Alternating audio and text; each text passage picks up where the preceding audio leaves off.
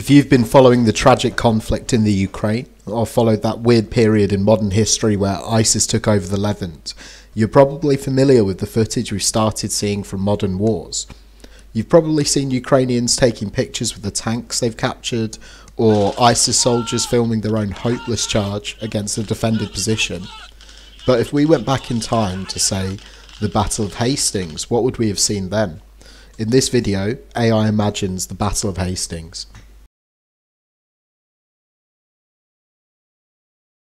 Think about it. The Battle of Hastings, fought on the 14th of October 1066, was a moment that defined English history. The Norman conquest of England marked the beginning of a new era, with a new language, a new culture, and a new ruling dynasty. It was a battle that saw the Anglo Saxon army clash with the Norman invaders, and the course of history was forever changed. Now, imagine seeing that battle unfold before your very eyes through the lens of a GoPro camera the sheer intensity of the battle, the adrenaline of the soldiers as they charge into battle. It's all there, captured in a way that no other medium could possibly replicate. The following is a first hand account of the battle. The brave commanders readied their troops for battle, each following their own cultural traditions. The English, as the story goes, spent the night carousing, singing, and drinking, foregoing sleep. Come morning, they promptly marched toward their enemy, all on foot and armed with battle axes, forming an impenetrable wall by interlocking their shields. This tactic would have undoubtedly ensured their safety that day had it not been for the Normans' deceitful retreat, which caused the English to break their ranks, something they had not done before, as it was customary to remain closely packed. King Harold himself, joined by his brothers, stood on foot near the standard, ensuring that they all faced equal danger and that there was no thought of retreating.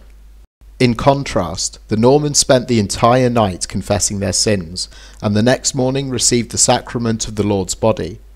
The infantry, armed with bows and arrows, formed the vanguard, while the cavalry was split into wings and positioned at the rear. The Duke, with a calm demeanour, proclaimed that God would favour their cause as the righteous one, and donned his armour when he mistakenly put on his hauberk backward due to the haste of his attendants, he laughed and corrected the error, declaring, The power of my dukedom shall be transformed into a kingdom.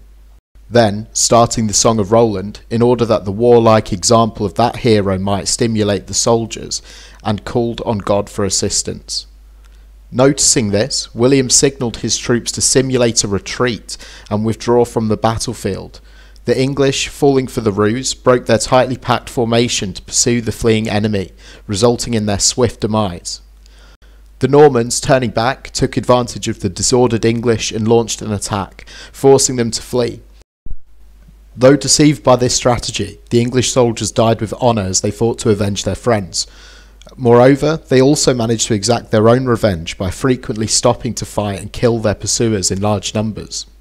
Seizing a high ground, the English pushed back the Normans, who were trying to pursue them up the slope, and forced them down into the valley below. From there, the English effortlessly slaughtered them with javelins and rolling stones down upon them. Additionally, they knew of a short passage that allowed them to bypass a deep ditch, and in that location they trampled so many of their enemies that the ground was levelled by the heaps of bodies. The tide of victory shifted back and forth between the two sides for as long as Harold remained on the battlefield, fighting to prevent the retreat. However, when he fell, with an arrow piercing his brain, the English fled without stopping until nightfall. Both leaders demonstrated their courage during the battle. Harold did not confine himself to the role of a commander, nor did he limit himself to merely encouraging his troops. Instead, he eagerly took on the responsibilities of an ordinary soldier, relentlessly striking down his foes in close combat. No one could approach him without consequences, for his single blow was enough to fell both horse and rider. However, despite his prowess at close range, it was a deadly arrow from the enemy that ultimately caused his demise. William was also equally enthusiastic about motivating his troops with his voice and presence, and he was always the first to charge into the thickest of the enemy. He fought fiercely and ferociously, losing three prized horses that were killed under him that day. Nevertheless, the fearless leader's unflagging spirit and vitality remained undiminished. Despite being repeatedly urged to retreat by his bodyguards, he persisted in battle until the approaching nightfall secured his complete triumph. God's protection was surely with him, since even though the enemy aimed numerous javelins at him, none hit him and he remained unscathed. The battle marked a tragic turning point for England, as the transition of power caused great devastation in our beloved country. Over time, the Angles had gradually adopted new customs, evolving from the barbarian and warlike people they were upon their arrival to a more civilized and religious society after embracing Christianity. However, as they focused increasingly on matters of faith, their attention shifted away from military affairs, ultimately rendering them vulnerable to invasion and conquest.